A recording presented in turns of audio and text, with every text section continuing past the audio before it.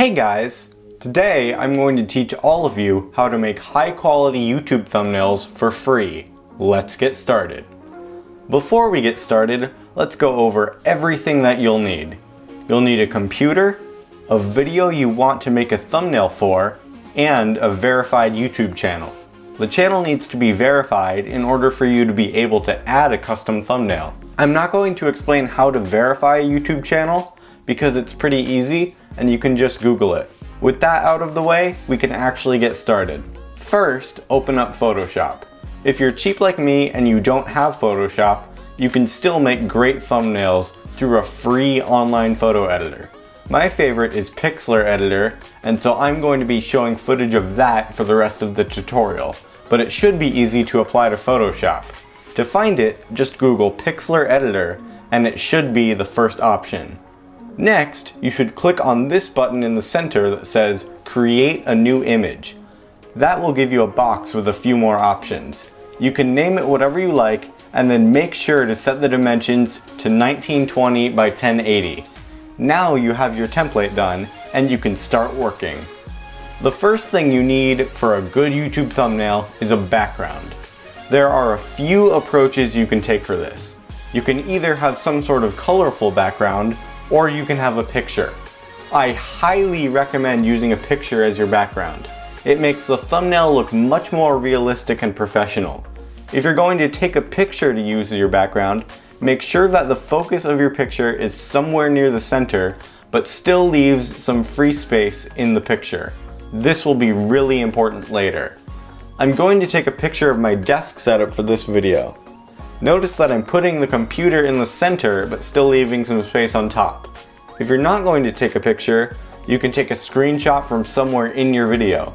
This is what I usually do with my thumbnails.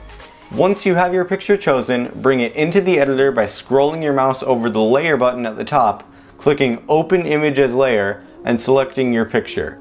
Now that we're done with the background, we can start adding more stuff on top of it.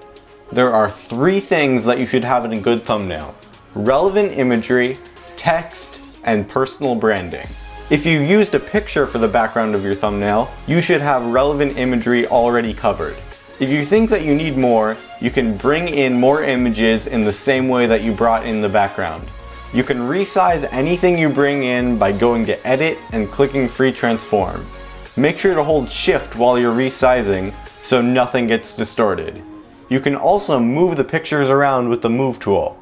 Remember, all of your images should be big enough to be recognizable when the thumbnail is on YouTube, and they should be somewhere near the center.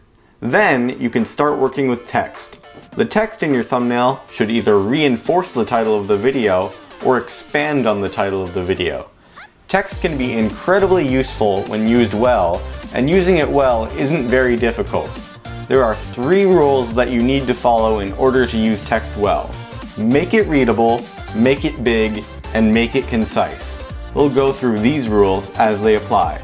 To make text, click on the Type tool, which is the letter A on the left side. Then, click on the part of the picture where you want the text to be. Remember how I told you to leave some space earlier? That's where we're going to put the text, so it doesn't cover up your imagery. Here's where being concise comes in. People don't want to read more than they absolutely have to, so the faster you can get your point across, the better. Once you have your message, type it in the text session.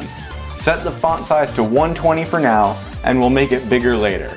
Part of making it readable is that you should pick a font that is relatively simple but still good looking. I'm going to use a font I downloaded called Lemon Milk. You should also either choose a color that contrasts well with the background or give the text an outline. You can give the text an outline by right-clicking on the layer on the right and clicking on Layer Styles. Then you can click on Outer Glow and change the color, opacity, hardness, and size until you have something you're happy with. Once you're done with that, click OK, and now we can make it bigger. Right click on the layer again and click on Rasterize Layer. Then you can go to Edit and Free Transform to resize the text. Again, make sure to hold shift while you're resizing. Now we can move on to branding, which is the simplest part. You want people to be able to visually tell that this video is yours, and the thumbnail should communicate that. The way I do that is to import my channel logo, resize it so it's a little smaller, and put it in the corner. If you're going to do this, make sure not to put it in the bottom right corner, because that's where the time of your video will be, and it will cover up that part.